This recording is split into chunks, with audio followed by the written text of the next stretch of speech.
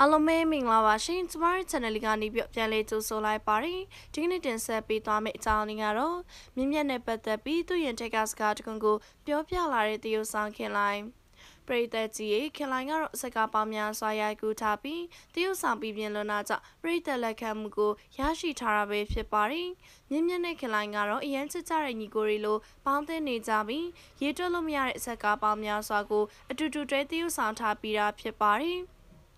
ဒီကနေ့မှာခင်လိုင်းကမြင်မြတ်ပေါ်ကျေးဇူးရှိကြောင်းကိုပြောပြလာတာပဲဖြစ်ပါတယ်။ ကျွန်တော်ညီဆိုပေမဲ့ကျွန်တော်ရဲ့ကျေးဇူးရှင်လို့ကိုပြောလို့ရပါတယ်။ကျွန်တော်ဒရိုက်တာဖြစ်လာဖို့အတွက်သူ့ရဲ့ပံပိုးမှုတွေသူ့ရဲ့တွန်းအားတွေအများကြီးပါပါတယ်။ကျွန်တော်ဒရိုက်တာဆောက်လို့တော့ပထမဦးဆုံးဇာတ်ကားတဲ့ဇက်လိုက်ကိုဇက်လီပြောပြတယ်။သူတကယ်ပဲစီနာပါပါလက်ခံခဲ့တယ်။ဒုတိယဇာတ်ကားမှာကျတော့လေကျွန်တော်ကကုမ္ပဏီတစ်ခုနဲ့ရိုက်ဖို့ပြောထားတာကိုအဲ့ဒီကုမ္ပဏီကကျွန်တော်ကိုမယုံနာလားပါလားနေတော့မသိပါဘူး။တွန်းဆုပ်တွန်းဆုပ်ဖြစ်နေတော့ဇက်လိုက်မြင်မြတ်က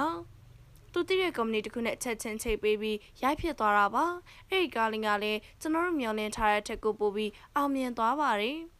ခင်လာရောမြင့်မြတ်ရောသက်ဆုံးတိုင်းအရင်ချစ်ကြတဲ့ညီကိုမောင်မတွေဖြစ်နိုင်ကြပါစေလို့ဆုတောင်းပေးလိုက်ပါရနော်ဟုတ်ကဲ့ပါရှင်ဒီကနေ့တင်ဆက်ပေးမှုအစီအစဉ်ကတော့ဒီလောက်နဲ့ပဲဆုံးသက်ပါရစေအားလုံးပဲကိုစိတ်နှဖျားကျမ်းမာရှင်လန်းကြပါစေရှင်